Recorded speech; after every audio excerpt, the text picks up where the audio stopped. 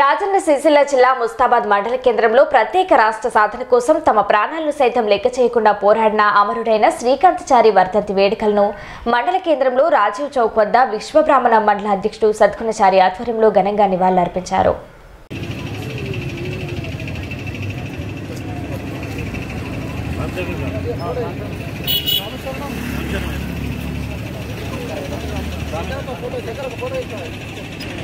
వారి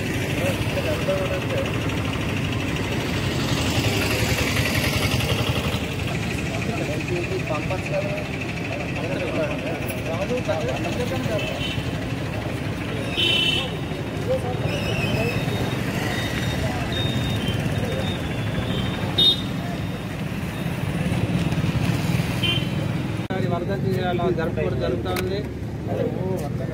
మరియు ఎల్బీ నగర్ చౌరస్తాను శ్రీకాంతాచారి చౌరస్తాగా మార్చాలని ప్రతి జిల్లాలో మన మండ మన తెలంగాణలోని ఐదు వందల ఎనభై ఆరు మండలాలలో శ్రీకాంతాచారి విగ్రహాలు నెలకొల్పాలని ప్రభుత్వ పరంగా మేము డిమాండ్ చేస్తున్నాం ప్రభుత్వానికి డిమాండ్ చేస్తున్నాం అలాగే ముస్తాబాద్లోని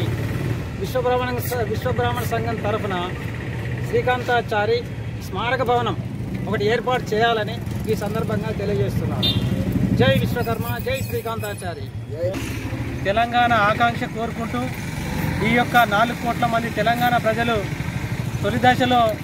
అప్పుడు అమరులైన అమరులైనటువంటి వాళ్ళకు స్ఫూర్తిగా తీసుకొని మరి నిధులు నియామకాలు తెలంగాణ భౌగోళిక వ్యవస్థ తెలంగాణ యాస తెలంగాణ భాష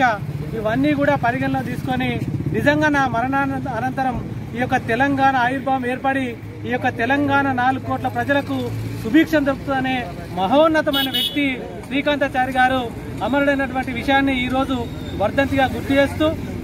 మరి ఆ రోజు డిసెంబర్ మూడు తారీఖు నాడు శ్రీకాంతాచారి చనిపోయిన వార్త వినగానే శ్రీమతి సోనియా గాంధీ గారు ఫిబ్రవరి డిసెంబర్ తొమ్మిది తారీఖున ఆమె జయంతి సందర్భంగా తెలంగాణ ఇస్తున్నట్టు ప్రకటించడం నిజంగా అది యొక్క విజయం. శ్రీకాంతాచారి విజయం అని చెప్పి ఈ సందర్భంగా గుర్తు చేస్తూ మరి మరి అట్లాంటి పరిస్థితులలో ఇవాళ రానున్న ప్రభుత్వం అంటే తెలంగాణ ప్రభుత్వం అనేది తెలంగాణ ప్రభుత్వము ఇవాళ తెలంగాణ కోసం అమరులైనటువంటి వాళ్ళను కానీ తెలంగాణ ఉద్యమంలో అనేక మంది ఉద్యమాలు చేసిన కళాకారులు కానీ ఈ యొక్క వ్యవస్థను పూర్తిగా విస్మరించి కేవలం తెలంగాణకు ద్రోహిల్లాగా మిగిలినటువంటి వాళ్ళనే వీళ్ళ మంత్రి పదవుల్లో కావచ్చు వీళ్ళ ప్రభుత్వ ప- ప- పథకాలలో కావచ్చు వాళ్ళు సెలెక్ట్ చేయడం నిజంగా అది మన సిగ్గు కార్యక్రమాలు ప్రభుత్వ పరంగా జరపాలని చెప్పి డిమాండ్ చేస్తా ఉన్నాం. ఇలా తెలంగాణ కోసం వ్యతిరేకంగా మాట్లాడిన వాళ్ళకు వాళ్ళు చనిపోతే ప్రభుత్వ ఖర్చులతోని సంస్కారాలు చేసిరు కానీ